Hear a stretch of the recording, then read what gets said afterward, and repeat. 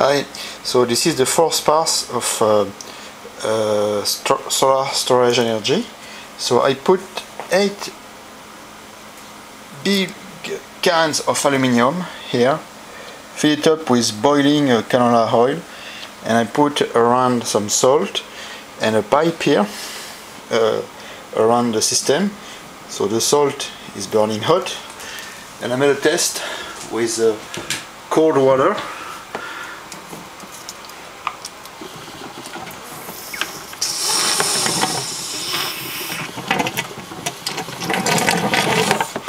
and the water is burning hot when it circulates around the aluminum can.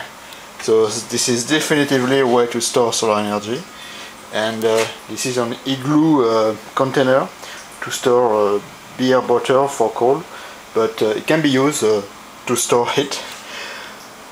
So thanks for watching and uh, I will try to connect the system to a solar concentrator to store solar energy.